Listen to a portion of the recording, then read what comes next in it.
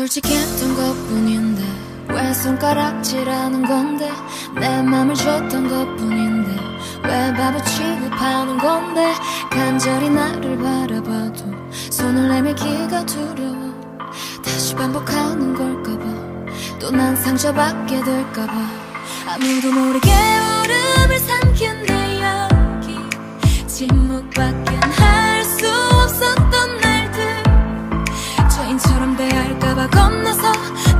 취급할까? 불안해서 현실이 무서워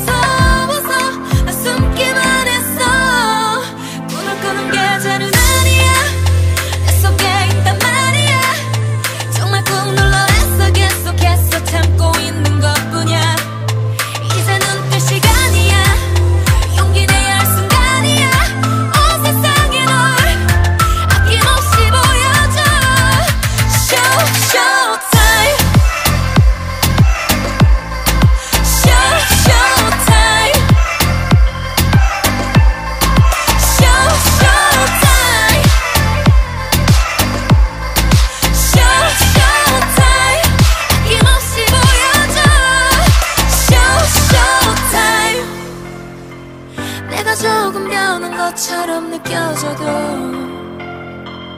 아무 일도 없던 것처럼 날 대줘. You will know about me. 작은 반응에도 나는 너무 놀래요.